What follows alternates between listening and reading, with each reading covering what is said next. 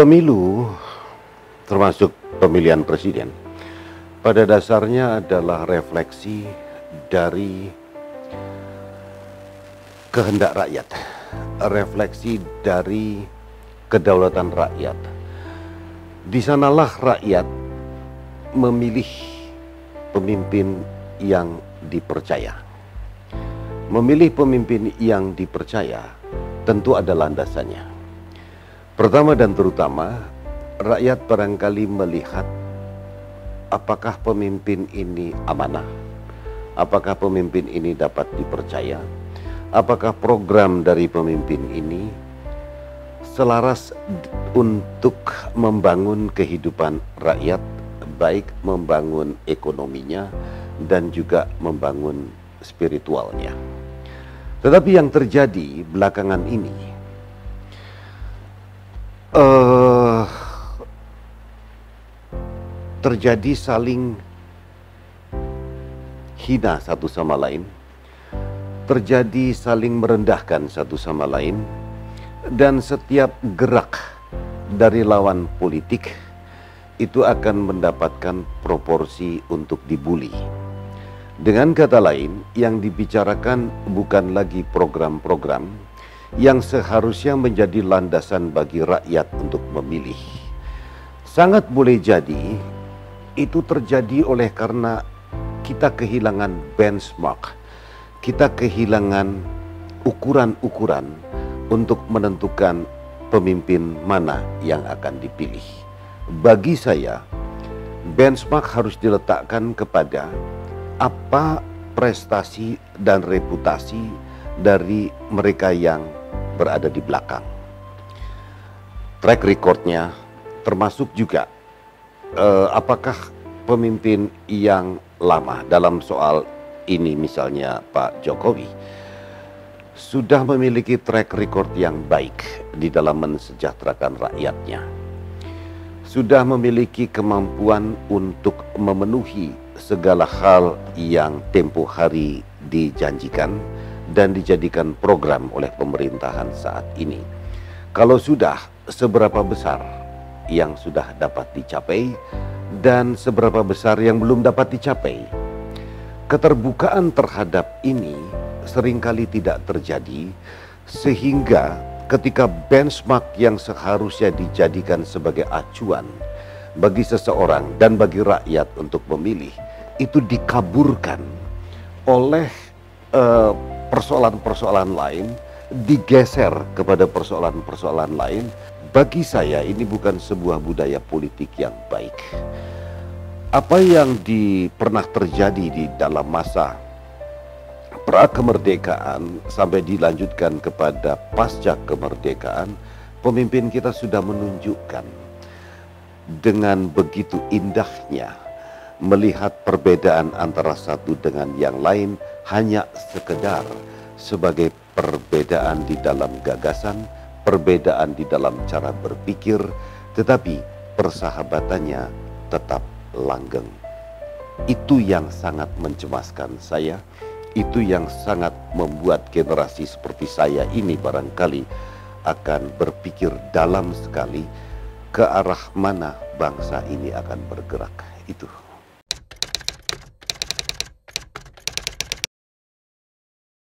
Kalau saya ditanya politik yang baik, politik itu pada dasarnya adalah pertama dan terutama hak rakyat. Kedaulatan ada pada rakyat. Rakyatlah yang memilih. Tetapi kalau kemudian rakyat dipaksa di dalam situasi dan keberadaan serta eksistensinya saat ini dipaksa untuk memilih calon tertentu, baik yang dilakukan melalui mekanisme birokrasi atau melalui mekanisme kekuasaan, itu juga tidak memberikan pelajaran politik yang baik kepada rakyat. Kenapa tidak memberikan pelajaran yang baik? Oleh karena kekuasaan yang seharusnya berada di tangan rakyat itu sudah dikendalikan, digenggam, dan bahkan masuk di dalam wilayah pemaksaan. Hemat saya, Kebebasan rakyat inilah yang harus dihargai ketika pemilihan umum berlangsung lima tahun sekali. memberikan penghargaan kepada kebebasan rakyat untuk memilih sesuai dengan nuraninya masing-masing sebetulnya adalah hakikat utama dari demokrasi.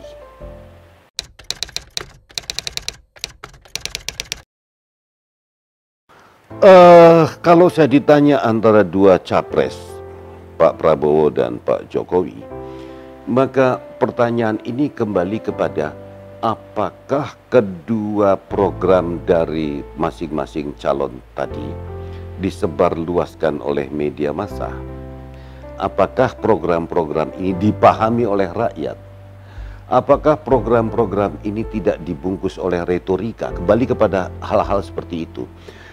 Tetapi kalau saya melihat secara detail, uh, program Pak Prabowo untuk menjadikan rakyat berdiri di atas kaki sendiri, bangsa berdiri di atas kaki sendiri, program untuk membangun pertanian, membangun perekonomian dari grassroots level, itu adalah program yang mudah-mudahan dapat diwujudkan kalau beliau terpilih menjadi presiden karena itulah esensi dan hakikat dari sebuah bangsa.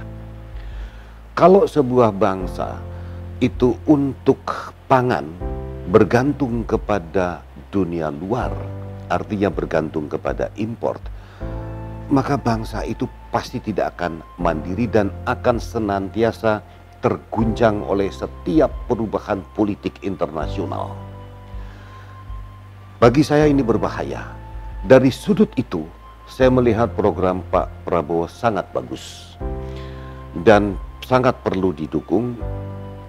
Dan mudah-mudahan kalau beliau dipilih oleh rakyat, beliau mampu untuk mewujudkannya. Karena program ini adalah program yang bersifat bersifat populis dalam pengertian bahwa Ayo kita bangun rakyat kita. Ayo saya tidak mau melihat ada rakyat yang lapar. Ayo saya tidak mau melihat bangsa saya menjadi lemah. Bangsa Indonesia harus menjadi bangsa yang kuat dan sebagainya dan sebagainya. Sementara itu, kalau kita melihat uh, program Pak Pak Jokowi masih penuh dengan dengan ke, ke, kehendak untuk mewujudkan juga pembangunan ekonomi. Hanya saja dari kedua pemimpin tadi kita kemudian melihat uh, banyak yang mengatakan berikan saja kesempatan kepada yang sudah memiliki pengalaman. Di sisi lain ada yang mengatakan uh, kita tidak melihat pengalaman seseorang tetapi kita melihat program apa yang diajukan oleh calon tadi. Dari kedua hal ini maka hemat saya uh, dari segi kemampuan untuk menumbuhkan uh, bangsa yang merdeka dan mandiri, Pak Jokowi juga mengatakan hal yang sama pada tahun 2014. Pertanyaannya menjadi, apakah bangsa kita sudah menjadi bangsa yang mandiri di bidang pangan? Jawabannya tidak. Lalu, ke mana janji itu?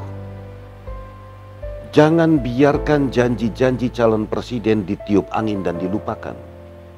Saya kira ini bukan pendidikan politik yang baik. Seharusnya Pak Jokowi sampaikan secara terbuka, saya tidak dapat memenuhi janji-janji itu. Tetapi dalam periode berikutnya kalau saya diberikan amanah, saya akan penuhi janji-janji itu. Dan itu tidak diucapkan. Oleh karena itu, ukurannya bukan siapa yang lebih berpengalaman menjadi presiden.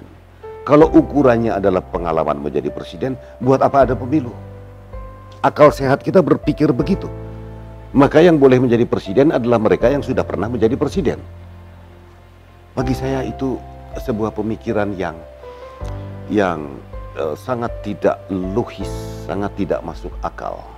Oleh karena itu, berikan kesempatan kepada mereka yang memberikan impian kepada rakyat Indonesia untuk maju dan berikan kesempatan untuk mewujudkannya. Dan kalau dia seandainya Pak Prabowo jadi mari kita kontrol. Mari kita tagih Mari kita lihat apakah janji-janji itu dapat dipenuhi. Kalau janji-janji itu dapat dipenuhi, maka dia sudah memberikan sesuatu yang berharga kepada bangsa. Tapi kalau tidak, maka lima tahun yang akan datang, rakyat akan kembali berada di dalam suasana yang terombang-ambingkan. Karena selama ini tidak ada janji dari pemimpin saya yang dapat dipenuhi. Dari dua calon ini, saya pribadi lebih memilih untuk mengatakan Pak Jokowi sudah tidak memiliki kemampuan untuk memenuhi janji-janjinya dan gagal memenuhi janji-janjinya. Pak Jokowi berjanji pertumbuhan ekonomi 7 persen, tetapi yang dicapai hanya 5,1 persen. Oleh karena itu, jadikan ini sebagai benchmark. Bagi saya ini sebuah ukuran. Ukuran apa? Ukuran kegagalan dari seseorang untuk memenuhi dan mewujudkan janji-janjinya.